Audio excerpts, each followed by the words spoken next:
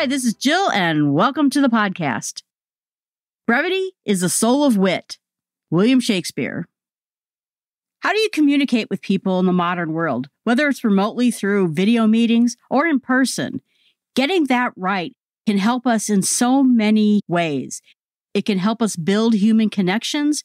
It can help us with our jobs and with our careers, and it can help us be understood.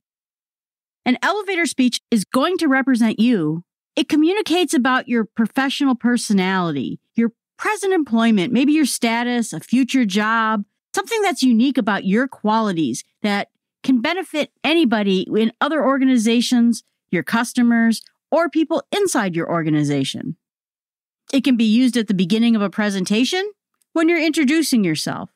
You have something ready to go that you can talk to people about what you're doing. If you're recruiting people for your nonprofit organization, or maybe you're looking for donors or volunteers, an elevator speech can help you quite a bit.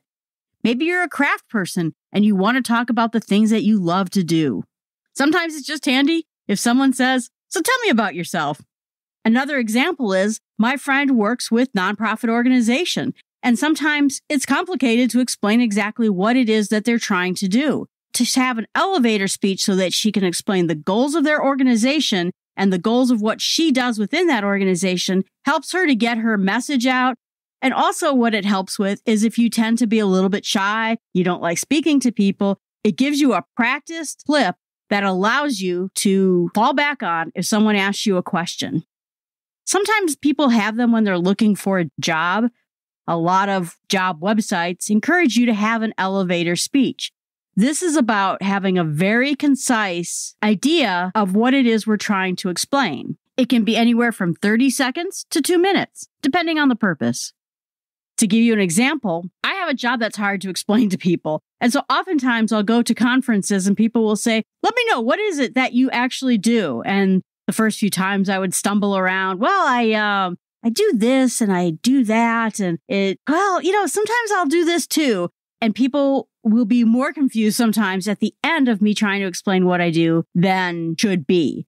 So that's where I decided to come in and come up with a short elevator speech of what my job is and how it helps customers, just so that I could explain it very well. This is not about having a brand. I like the quote from Sheryl Sandberg. I get this question a lot. I shudder every time. Crest has a brand. Perrier has a brand. People are not that simple. When we are packaged, we are ineffective and inauthentic.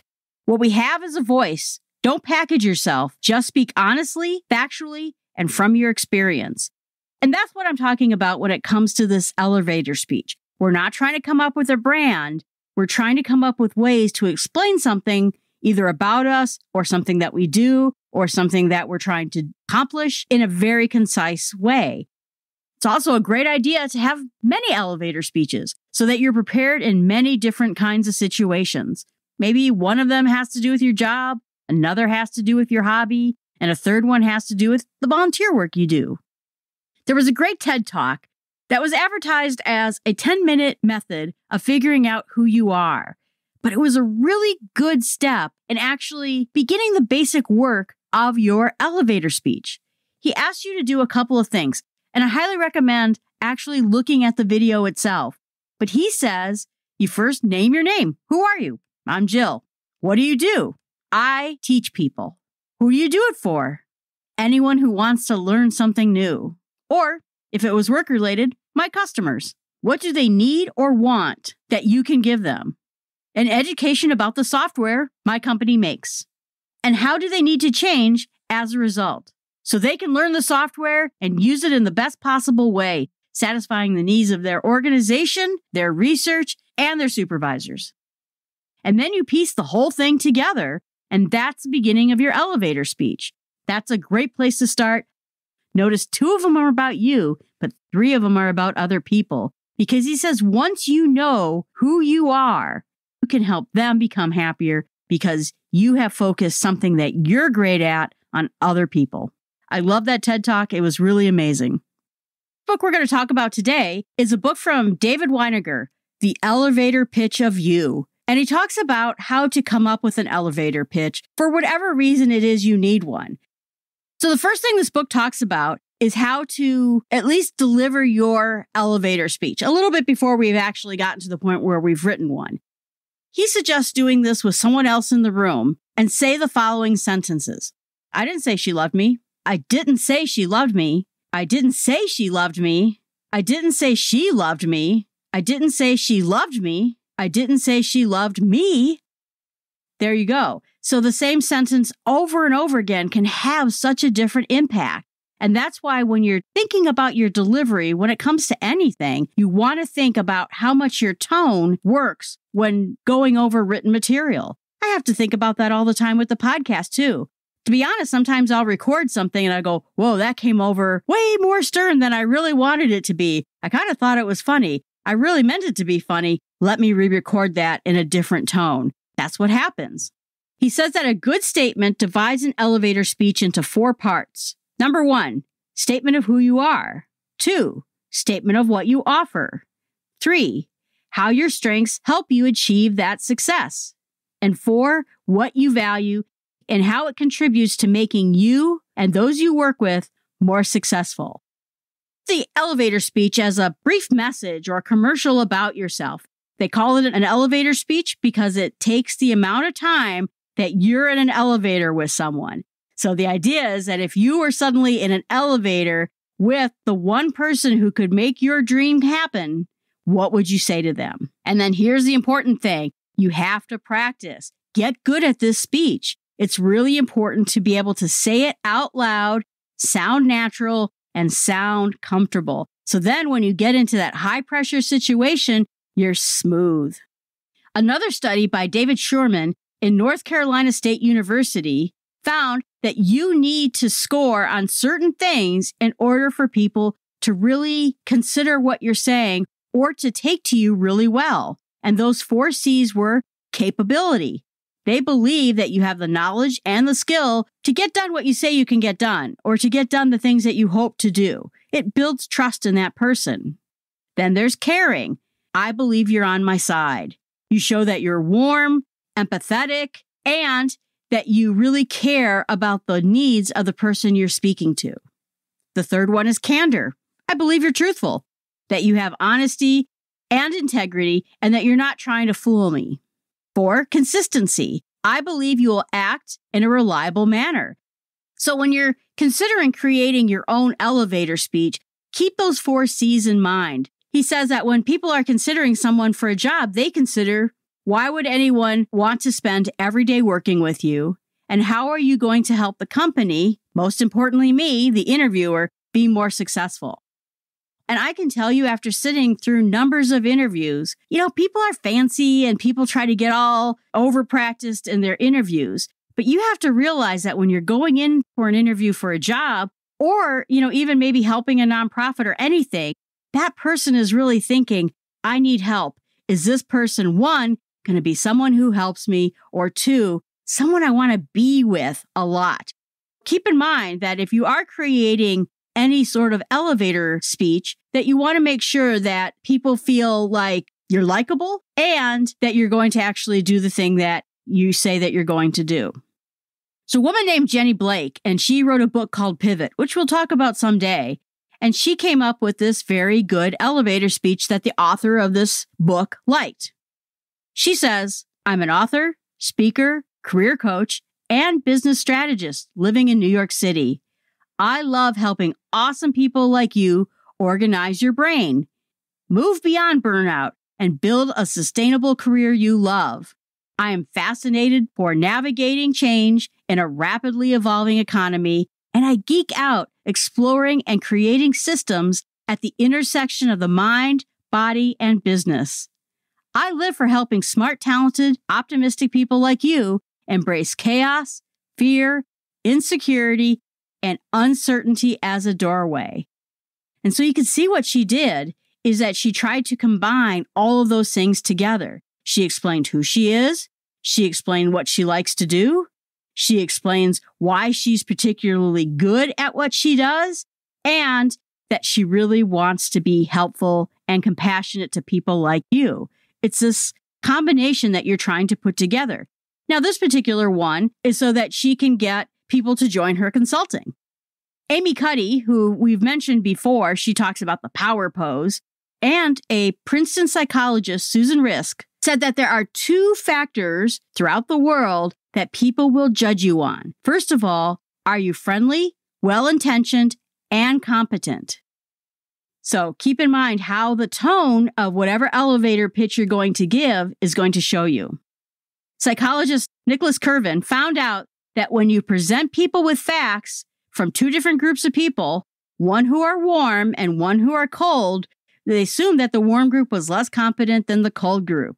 So the thing that you want to do is find that balance between friendliness and competency. And when you're considering your elevator pitch, you want to make sure it expresses those two items. I'll tell you that I have historically had a problem where I am a very friendly person. And I had a boss come right out and say me, and he wasn't the best boss in the world, but he said, You act so friendly and nice towards people, no one is ever going to take you seriously. And you're going to have to knock it off with laughing because as soon as you start to laugh with that laugh, immediately it removes all credibility from you. Wow, I can't be friendly and I can't laugh. Wow. And it's one of those things that, you know, you went home on a Friday and you just sat there puzzling at this. How can I live in this world as a friendly, warm person without acting as a friendly, warm person? And so what you realize is he's wrong. You can't give that up. People like that. But what you have to do is make sure that you show your competency as much as you show your warmth. Show that you're talented, that you know what you're talking about, that you absolutely can help them. And that will help you, even if you're a really nice person. And where it helped me because I did not give up the warmth, people come to me after classes or during conferences. I'm really struggling with this. Do you think we could sit down later today at dinner and you can explain this to me? And people come to me when they're concerned they can't understand something. They feel like they should, but they know that I'm not going to be that person who shuns them. And that builds bridges with people.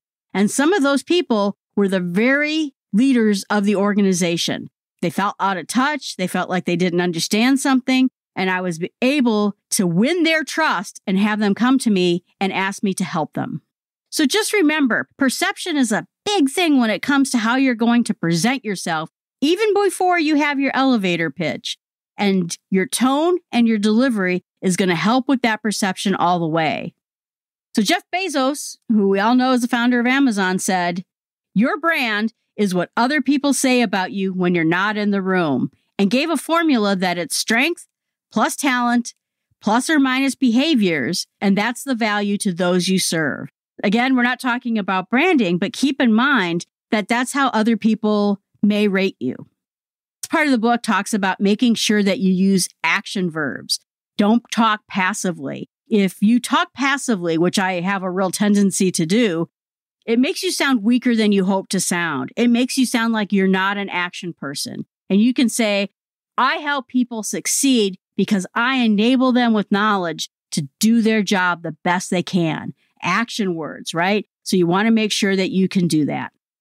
Another article talked about how to put together an elevator speech and it took on different aspects. But keep it brief, practice it, be prepared, know your audience, verbalize action. Remember, keep those action words going, and then end your story with a question. It can be as simple as So, what do you do? Summary Make sure that you consider your tone every time you're giving a verbal delivery and practice with other people to make sure your tone is correct. Two, make sure that whenever you speak, you sound capable, caring, that you have candor and consistency. It'll help you in creating a connection with people. Three, make sure you're warm and competent. Four, when writing your elevator speech, start with the statement of who you are, statement of what you offer, a statement of how your strengths will help you achieve success and what you value and how it contributes to making others around you successful. Challenge write an elevator speech presenting who you are.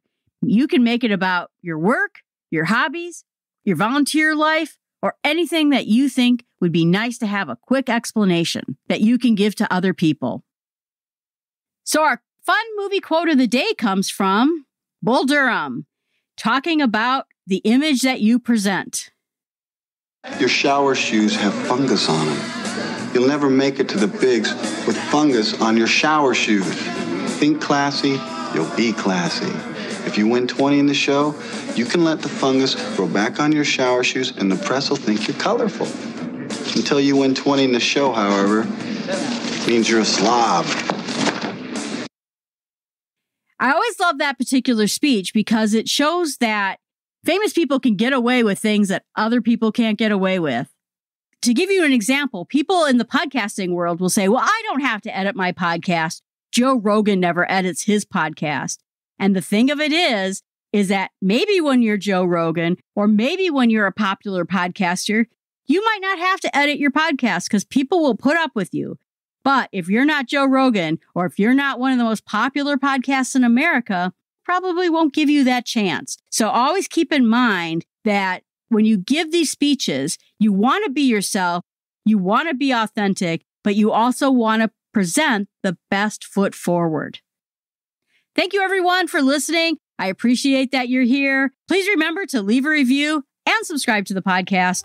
Have a great week.